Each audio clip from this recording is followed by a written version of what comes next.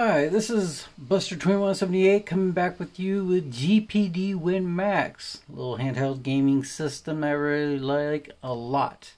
I would say a little portable ultra PC gaming system that just literally slips right into your pocket. Probably not comfortable, but it's literally a pocket size uh, gaming computer in a way that we are going to show you RPCS3 uh, PlayStation 3 emulator we're going to show you Virtua Fighter 5 running at 60 FPS.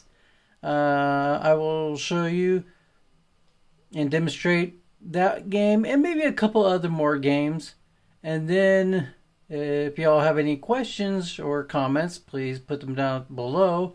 Um, I'm going to try and keep up to date with certain games and updates and stuff like that and try to show you what my settings are that will best show how the system will perform.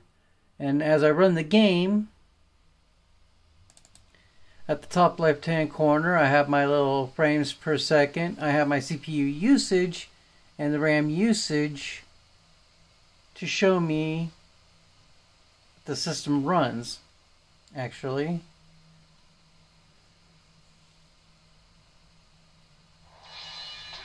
Which I forgot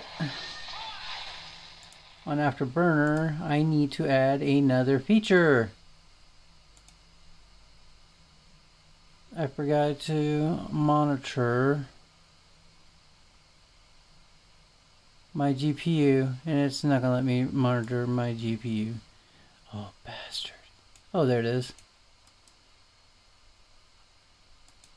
Show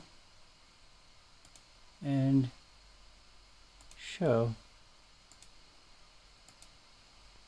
So now we got our GPU usage and CPU usage and memory usage for the CPU. The memory usage is for the GPU, the other memory usage is from the 16 gigabytes memory. So, now that we got this all running, play game.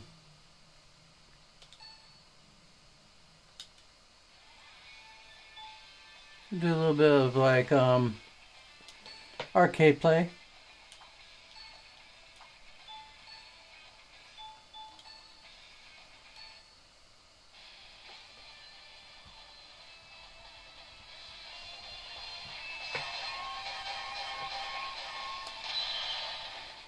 I'm using a wireless uh, controller pad. You can use the D-pad on the GPD Win Max. Works perfectly. It is like the perfect handheld, take them as you go system. It's running Vulkan on the emulator and it's running at 60 FPS.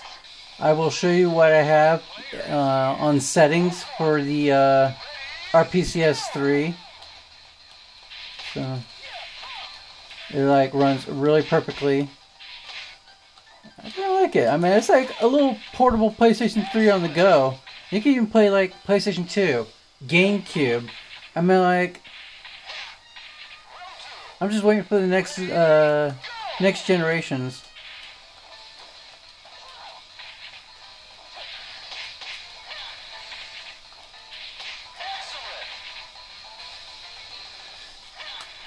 I'll play a little bit here. So it's doing 60 frames per second. It's utilizing the GPU at around 70, 60%, and it's using the CPS around 25, 30%.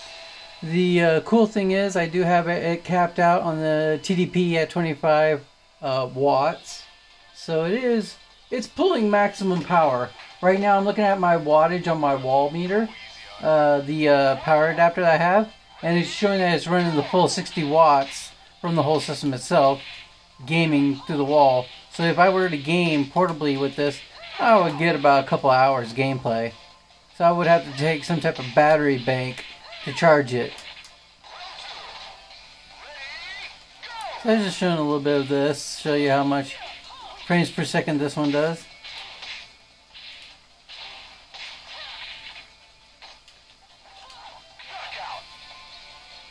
We'll go another one.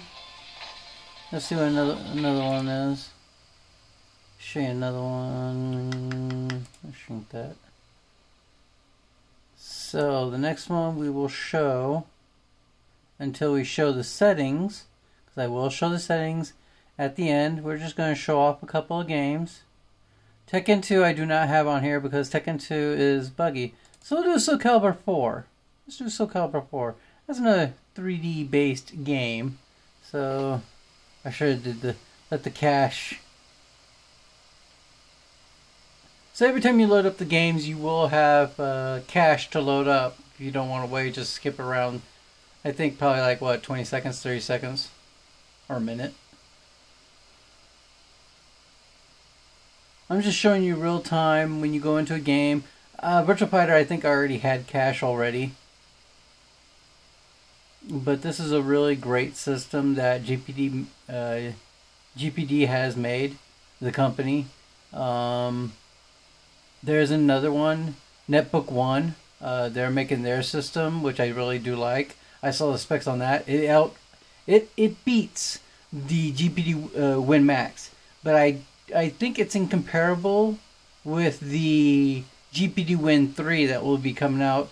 The uh, net the Netbook One GX Pro will be incomparable of the GPD Win 3 because they'll be using USB C4 and USB 4 uh, newer versions, which will run at 40 gigabits per second, which I really do like, so I can bring it home, dock it up, run it through my external graphics card, and turn it into a desktop, and so I can run my other high-end games when I feel the need.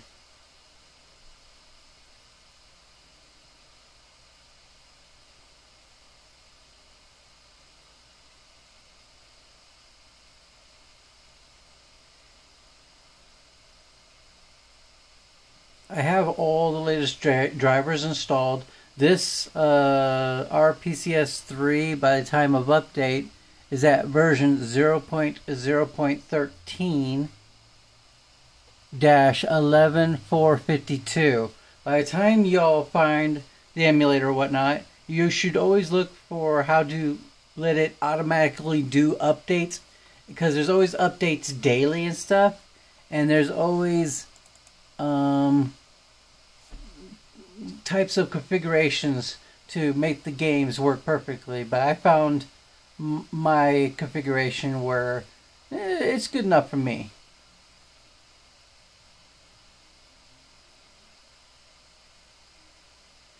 It is an e, uh, it is running an SSD style, but it's not like an SSD. It's an NVMe. It's not through SSD mode, but it does support SSD. So you can install an SSD or an NVMe SSD type M.2 card.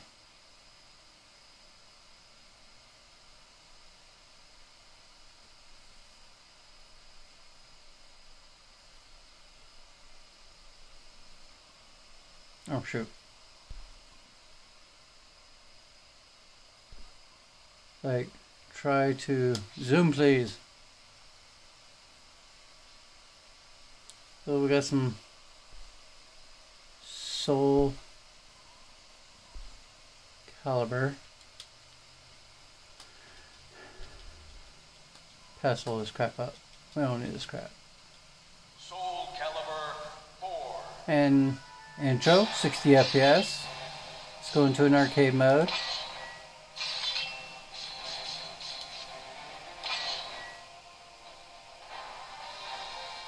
Let's see here. What should I pick? What should I pick? I think I should pick good old Ivy. Cause I like Ivy. Ivy's Ivy's cool. You can't you can't go wrong with Ivy. Am I Kerr? A little flashiness right there, but no big deal. It only happens at that. And after that, everything else is pretty smooth and going. So I hope everything is showing pretty good. Oh, sounds like it's... I just had a little audio skip going here and there. Oh, they dropped down to 30. My bad. I thought that'd be pretty good all the way through. This is only with certain games.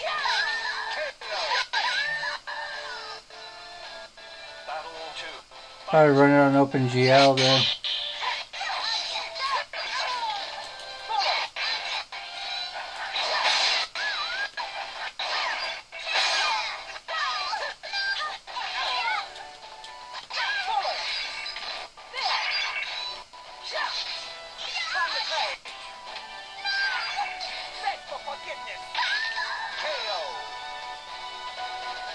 Yeah, I guess it's only certain games.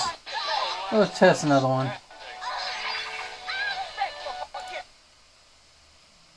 Because I think, eh, yeah, Vulkan is good. But this is what my settings are that I use. Uh, you can look at these settings right here, compare them if you can. GPU Vulkan, it's on Intel. Of course, if you dock it, you'll get better performance. Frame limit off. 75% of the resolution scaling is set for 1280 by 720, recommend it. It's at 14 by 14 right there. You got VSync on, write color buffering, async multi-threaded. That's like basically all that I only use on the system at all.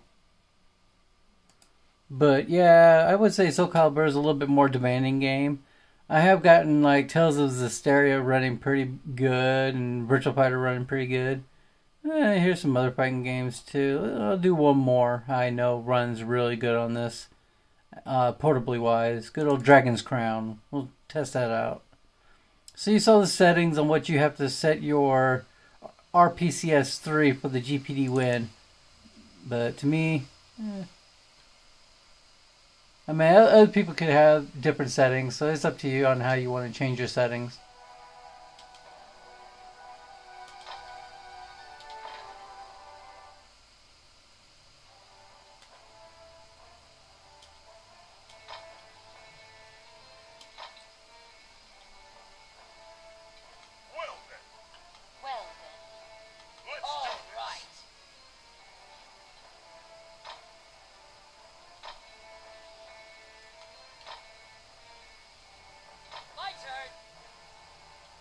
Seated yourselves and called for a stop. You were...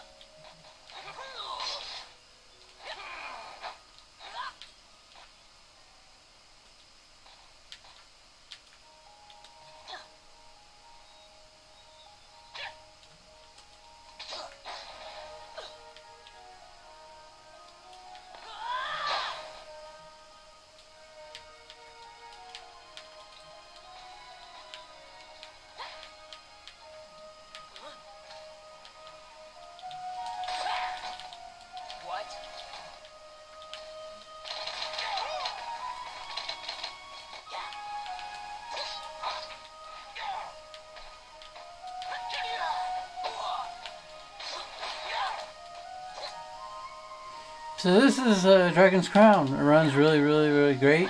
And this is the game that I wanted, uh, yeah, to play. Because uh, it's a really good action game. But, thank you for watching. Uh, I hope you really like this. This is the RPCS 3 on the GPD Win Max.